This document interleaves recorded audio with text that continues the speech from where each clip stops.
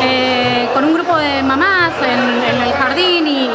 los nenes siempre que se quieren disfrazar porque ellos miran los dibujitos y, si bien sabemos que es Halloween, la idea no era festejar Halloween, sino que los chicos vengan a disfrazarse y pasar un rato lindo en el club.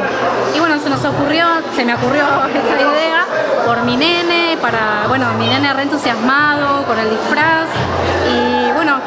compartirlo con, los demás eh, compañeritos y los, demás amigos del pueblo y tenemos un club hermoso y bueno, eh, se dio así y estamos re contentos. Una forma de acercar a la gente al club. Acercar a la gente al club, a que los chicos jueguen porque le pedí ayuda a Brisa, que es eh, participante de, de los chicos de Scout y me ayudó con los juegos, así que pasamos una linda tarde, re divertida y los chicos re contentos que ese era el objetivo.